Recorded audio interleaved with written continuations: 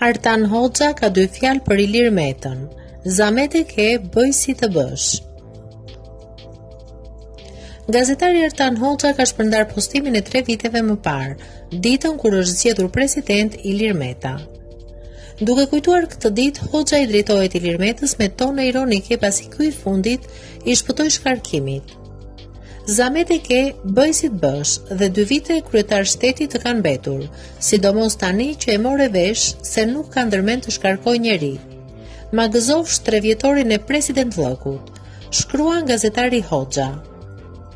Bëre ç'bëre i mbushe tre vite rumbullak, president i vendit o kapedan. Zamet e ke, bëj si të bësh dhe dy vite kryetar shteti të kanë mbetur, sidomos tani që e more vesh se nuk ka ndërmend të të shkarkojë njeri. Ma gëzofsh tre vjetorin e presidentllëkut dhe kujdes po panik jo për dy vite që të kanë mbetur. Shkruan Hoxha në postimin e tij.